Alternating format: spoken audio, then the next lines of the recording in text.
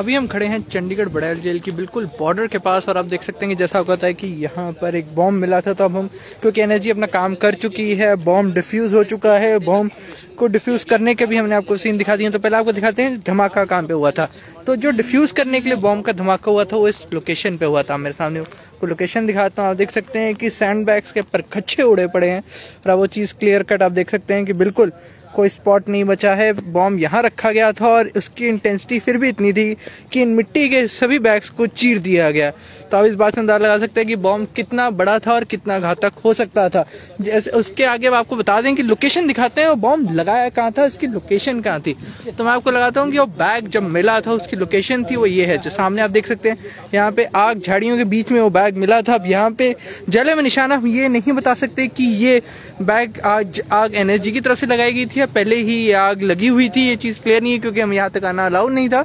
पर बैग यहाँ पे मिला था क्योंकि इसके साथ ही आप देख सकते हैं कि बोरियाँ मिली हैं। आपको बता दें कि कल जो मिट्टी की बोरियाँ थी तो यहाँ पे बैग मिला था, उसके बाद ड्रम लाया गया। ड्रम से उसको कवर किया गया था, उसके बाद इर्द गिर्द ये मिट्टी की बोरियाँ इकट्ठी कर दी गई थी। जी हाँ ये मिट्टी की बोरियाँ उसके इर्द गिर्द इकट्ठी कर दी गई थी, जिसके बाद ये सारी कार्रवाई शुरू की गई थी। रात को प्रिकॉशनरी तौर पे हम कहें कि सुबह तक यहाँ पर ये मिट्टी की बोरियों के बीच में वो बॉम्ब रखा गया था, उसके बाद तैयारियाँ खींची गई थी या फिर हम कहें कि एनएसजी को बुलाया गया था। एनएसजी यहाँ पे करीब 12 बजे के करीब यहाँ पहुँची थी और 12 से साढ़े चार बजे तक अगर हम कहें यहाँ पे कार्रवाई चलती रही।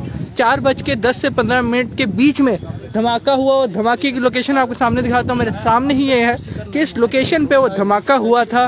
और उस धमाके की आवाज़ करीब करीब एक किलोमीटर तक सुनाई दी गई, जैसे हमें पता चल रहा है 500 मीटर पे तो हम ही खड़े थे और वहाँ पे हमें आवाज़ सुनाई दी गई थी। तो आप देख सकते हैं फिर से मैं आपको दिखा दूँ कि बॉम्ब को वहाँ से शिफ्ट करके यहाँ रखा गया, उसके बॉम्ब इधर रखना या फिर उसके ऊपर ये सैंड बैग्स रखे गए और उसके बाद उस बॉम्ब को दूसरे एक छोटे माइनर कंकशन एक्सप्लोजन के साथ खत्म किया। अब ये कंकशन उसी बॉम्ब को एक्सप्लोड करके किया गया, या दूसरे बॉम्ब को, ये क्लियर नहीं है, पर जैसे कि बॉम्ब से ही बॉम्ब को डिफ्यूज करने की बात शुरू सामने आ रही है। आपको बता दें कि लगभग ये ये आपकी दीवार दिख रही है।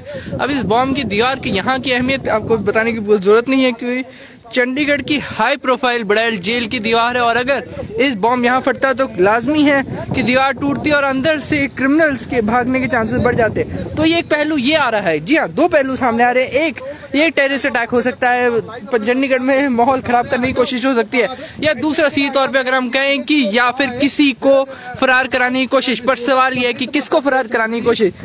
बड़ैल जेल की हम बात करें तो अंदर कई ऐसे हाई प्रोफ़ाइल आतंकवादी हैं क्रिमिनल्स हैं गैंगस्टर्स हैं। हैं, जिनको बचाने की कोशिश की जा सकती है, पर आज सच किसी का नाम सामने नहीं है, किसी को अप्रोवल नहीं है, पर अभी तक जो सिनेरियो बनता हुआ नज़र आ रहा है कि इन दो पॉइंट्स के ऊपर ही सीधे तौर पर हम कह सकते हैं कि चंडीगढ़ पुलिस और अब एनएसजी जो भी कहेंगे कि अधिकारी होंगे या जो भी जाँच एजेंसी होंगी, वो सब जाँच करेंगी। सवाल बड़े हैं। कोशिश बड़ी है कि सबसे पहले तो अगर हम कहें कि बड़ैल जेल कितनी पास आखिर कोई संदिग्ध व्यक्ति पहुँच कैसे गया? बैग यहाँ पे पहुँच कैसे गया? शुक्र हम ये मनाते हैं कि समय रहते वो बैग पुलिस प्रशासन की नज़रों में आ गया। रहते कार्रवाई होगी और बॉम्ब समय रहते डिफ्यूज हो गया क्योंकि अगर वो बॉम्ब एक्सप्लोड होता तो बड़ा नुकसान हो सकता था। बड़ा नुकसान कैसे हो सकता था कि जेल की दीवार टूटती तो उसमें टेरर का माहौल तो वैसे ही बढ़ता। साथ साथ अगर किसी को छुड़ाने की कोशिश होती है तो हम कह सकते हैं कि शायद कोई क्रिमिनल को छुड़ाने कामयाब भी हो पाते, पर हमारे सोल्जर्स या फिर हमारे पुलिस की मुस्तैदी चलते ये काम समय से हो गया, सब कुछ जाँच हो गई और कार्रवाई हो गई है। पर सवाल ये है कि लापरवाही भी कहीं नज़र आती है। जहाँ पे एक तरह मुस्तैदी नज़र आई तो कहीं ना कहीं लापरवाही नज़र आती है कि आखिर बॉम्ब यहाँ तक पहुँचा कैसे? क्योंकि चंडीगढ़ में बॉम्ब यहाँ आया है। जी हाँ बॉम्ब एक्सप्लोड नहीं हुआ, उसके कई कारण बताए जा रहे हैं कि डेटोनेटर्स वायर जल गई थी, डेटोनेटर्स मिले हैं। यहाँ जल टेंस की छड़े मिली हैं, छड़े किस चीज़ की हैं, ये हम नहीं कह सकते अभी क्लियर पर हम कह सकते हैं कि जो बेसिक एक्सप्लोजन था, कोई बड़े इरादे से ही किया गया था। खैर, किस्मत पुलिस के साथ थी, हम जनता के साथ थी कि कोई बड़ा हादसा नहीं हुआ है और समय रहते उसके ऊपर कार्रवाई हो गई है।